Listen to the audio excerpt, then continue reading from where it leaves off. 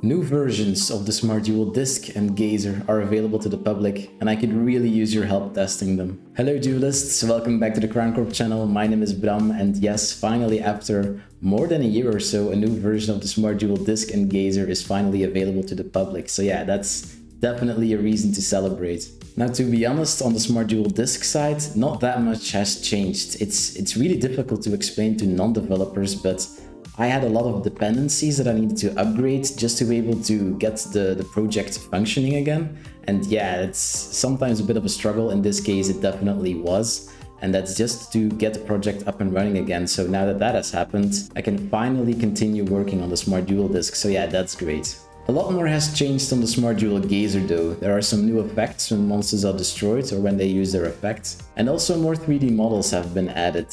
I've added all the models that we have for monsters that were included in the first Speed Duel GX box. Now that I think about it, that was actually released quite a few months ago, but I still have to look for 3D models for the newer Speed Duel products. There is also a better card model now for monsters that don't have their own model. So yeah, now has better attack and defense positions and theoretically we do support every card that the Speed Duel format has to offer now. Also a lot has changed under the hood for the Smart Duel Gazer, so that is something that you might not really notice, but for me as a developer it is a lot easier to work in the code now, which is great. Now, if you don't know how to install the apps and you don't have them already, well, it's actually really simple. If you're an Android user, you can just download the Smart Duel Disk and Gazer from the Play Store. The links for that are in the description. If you're an iPhone user, you need to install TestFlight first via the App Store. It is an app created by Apple and it allows you to beta test other apps. So once that app is installed, you can then download the Smart Duel Disk and Gazer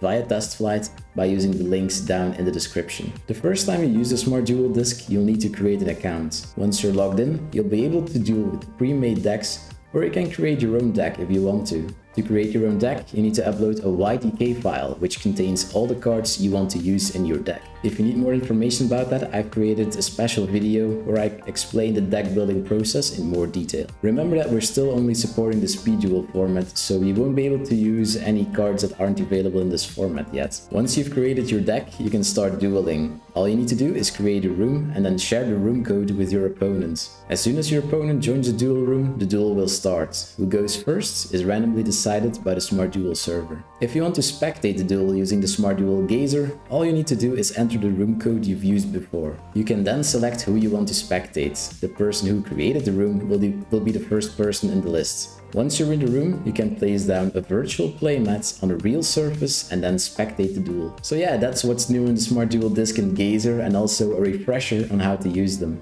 I've already found some bugs myself while I was testing these apps after releasing them, so yeah, maybe that wasn't very clever of me. So yeah, over the next couple of days, I'm going to fix the bugs that I've already discovered but I could really use the help from the community on this one. So yeah, if you want to help me out, all you need to do is install the new version of the Smart Duel Disk, the Smart Duel Gazer, and then just duel and see if you discover any bugs or issues. And if you do, please let me know here in the comments on YouTube, or maybe even better, let me know on Discord. Our Discord is also a really great place to meet new people and to find opponents that you can duel against. A link for that would also be down in the description. If you're wondering what else I'm working on right now, I'm actually doing some work on the Smart Duel server. One of the things that I would really like to add to the Smart Duel server is support for private duel rooms. That way you can just join a room and look at 3D models anytime you want without needing an opponent. There are many more things that I'd like to do and that I'd like to add to all these apps and to the server, but that's probably a topic for another video.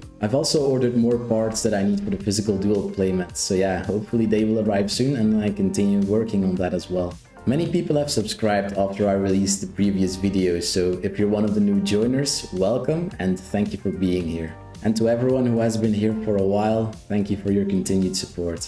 And speaking of continued support, thank you to all the patrons out there who keep supporting the project as well. You guys are amazing and I really wouldn't be able to do this without you. I hope that you liked this video and that you'll be able to have some amazing duels using the Smart Duel project. And I also hope to see you in the next video.